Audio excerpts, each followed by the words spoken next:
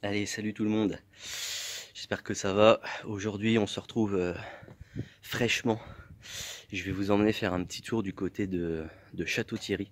Je vais aller vous montrer un peu euh, les monuments militaires qu'on a là-bas. Les monuments américains surtout. On va aller se faire ça avec le tresseur.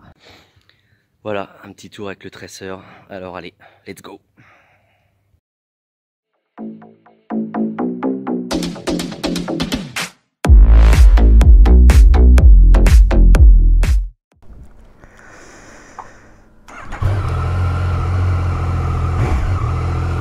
Allez, go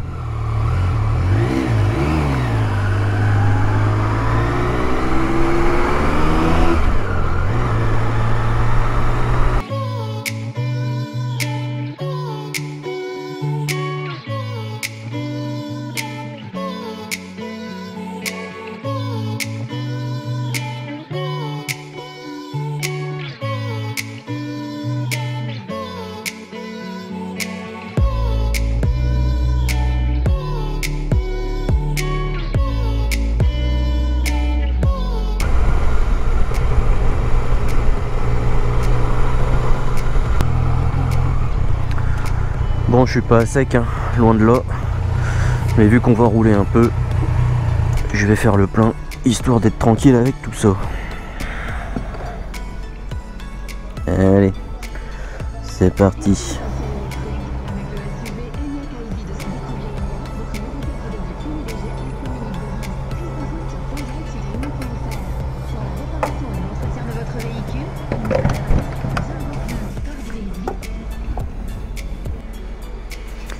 Allez, c'est reparti.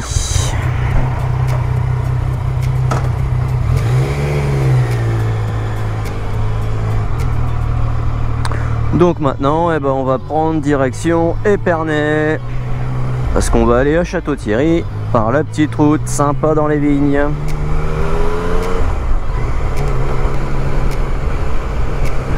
Nous voilà dans la belle partie. On arrive dans le vignoble. Attention aux petites priorités. Et voilà. C'est pas beau ça Du beau ciel bleu. Et les vignes. Allez, on roule.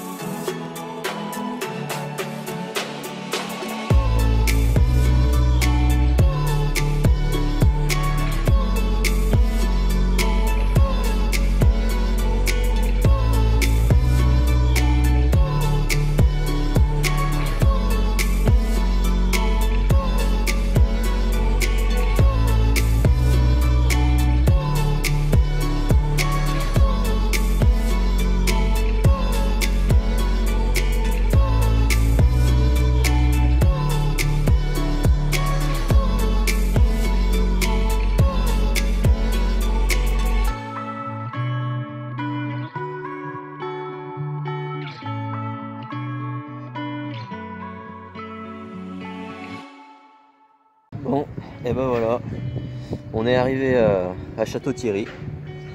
Euh, je suis parti assez tard de la maison, donc j'ai pas pris le temps de manger, il est déjà 2 heures là. Donc je vais manger un petit truc, et puis après on est reparti pour aller euh, là-bas en hauteur, voir un petit peu ces fameux monuments qui sont juste à côté.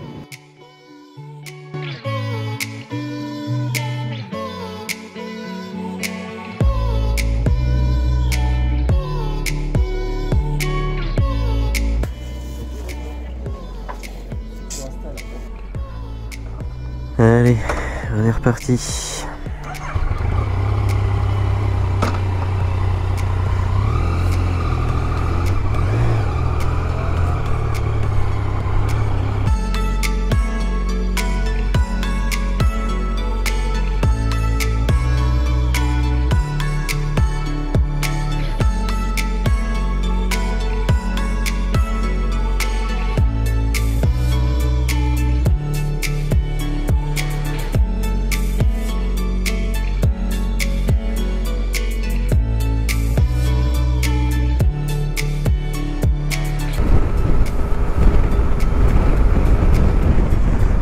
On est au-dessus de Château-Thierry, hein, Château-Thierry qui est là-bas. Et on arrive au monument.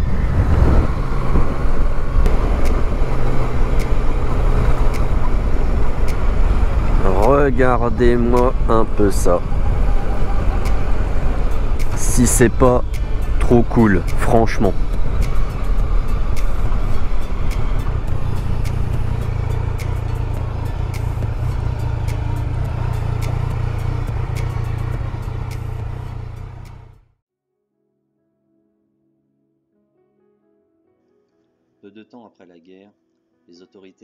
Décident la construction d'un grand monument commémoratif dans la région de Château-Thierry. Le site choisi est la côte 204, à 3 km de la ville, où se déroulèrent de violents combats en juillet 18. Inauguré en 1933, il sera le souvenir de l'offensive du 18 juillet 1918 lors de la seconde bataille de la mer.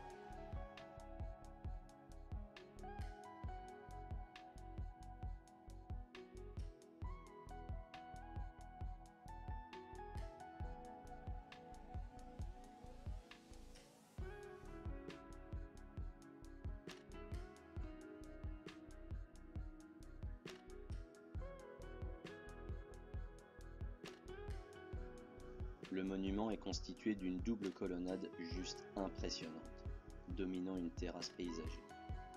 Lieu stratégique pendant la guerre, comme dit précédemment, on peut y observer toute la vallée de la Marne.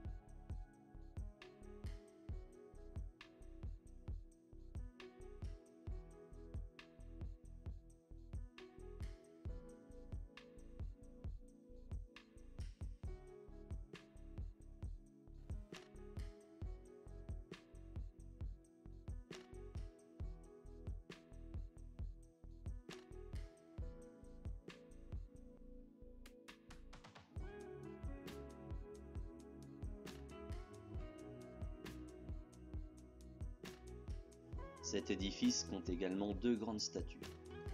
Côté ouest, on y voit les États-Unis et la France, main dans la main, unis par une longue amitié. À l'opposé, le côté est, lui, représente un aigle, de très grande taille, symbole par excellence des USA et de leur grandeur.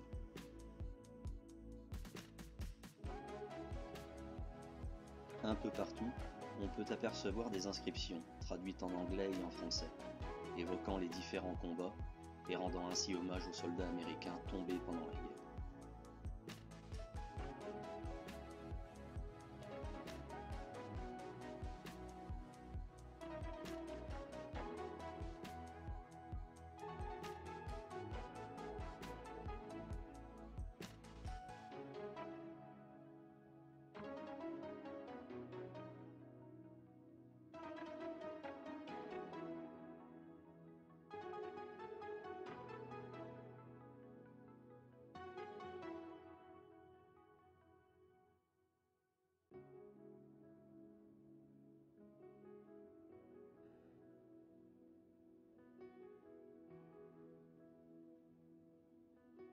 Ici, une grande carte de la région retrace la progression des forces américaines à partir du 18 juillet 1918. Devant cette carte, une table d'orientation indique, elle, les directions et les distances des points d'intérêt historique de tout le secteur. Voilà, voilà. Alors, vous venez d'avoir un aperçu de ce monument américain de, de Château-Thierry, qui est très connu dans le coin. Il fait toujours un super temps. Donc maintenant que c'est terminé, on va continuer la visite. Je vais remonter sur la Miss et on va aller par là, un peu plus loin, pas très loin.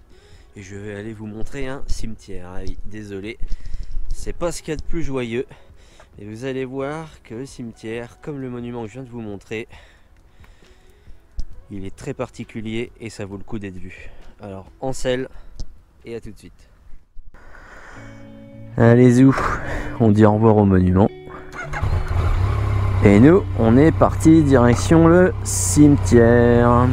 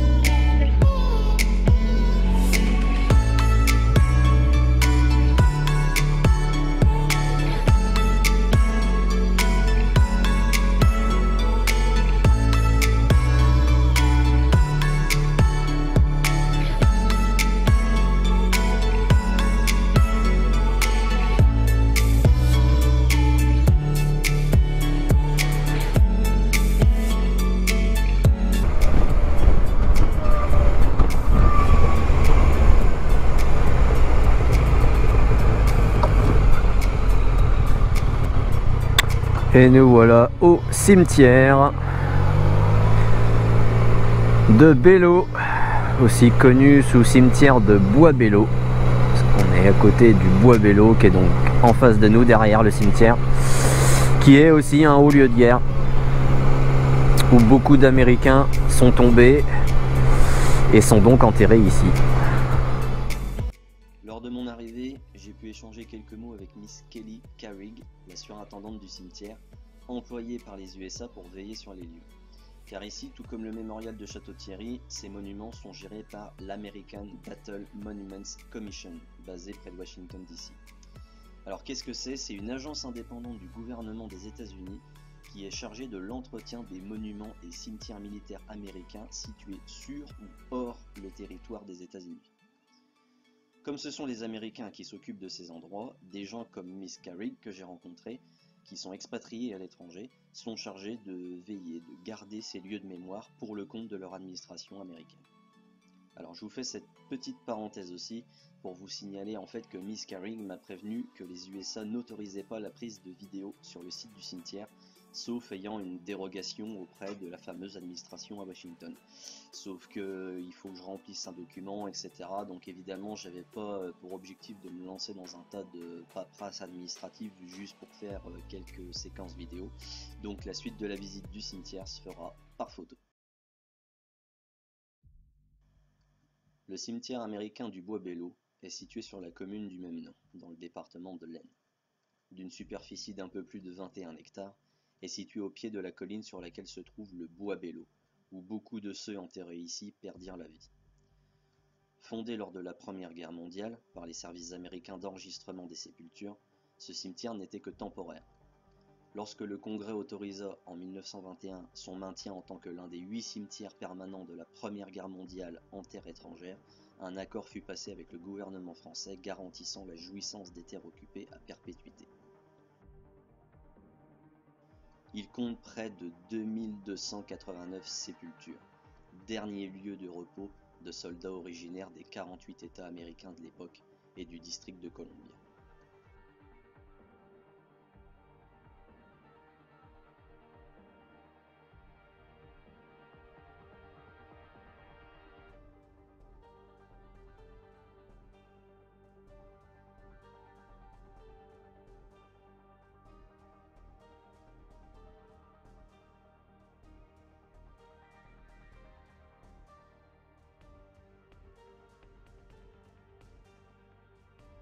La chapelle, s'élevant à plus de 24 mètres, fut érigée au-dessus des tranchées de la ligne de front utilisée pour défendre le bois bébé. On peut apercevoir sur ces murs de nombreuses gravures représentant les différentes divisions militaires qui combattirent ici, ainsi que des scènes de guerre. À l'intérieur de la chapelle, les noms des 1060 disparus sont inscrits sur tous les murs.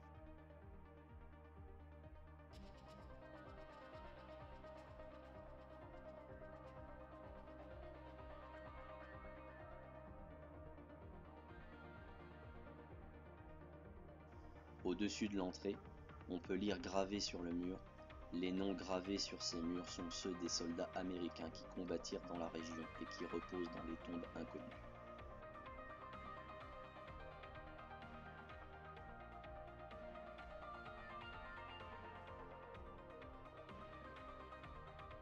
On trouve également quelques bâtiments dans le style américain, une maison des visiteurs avec quelques photos et explications,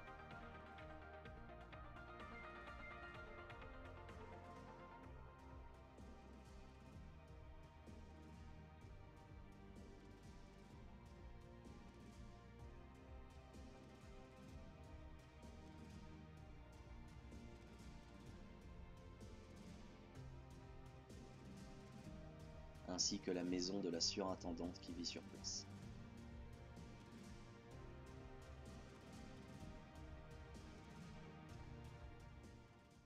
Hop, et voilà, donc la visite est terminée. Je suis un petit peu déçu de ne pas avoir pu vous faire ça en vidéo, mais bon, comme je vous l'ai dit, c'était un petit peu compliqué, donc j'ai pas. J'ai voulu voilà, respecter, de toute façon c'est les règles, donc c'est comme ça. Donc voilà, j'espère que ça vous a plu. Moi, je vous dis au revoir ici parce que euh, après, bah, la nuit va tomber, il faut que je rentre à Reims et puis ça des routes un peu plus rapides et sans, trop trop d'intérêt, donc ça sert à rien que je vous montre tout ça. Donc voilà, une bonne journée de passer avec la lisse. Moi, je rentre et je vous dis à bientôt. Ciao, ciao.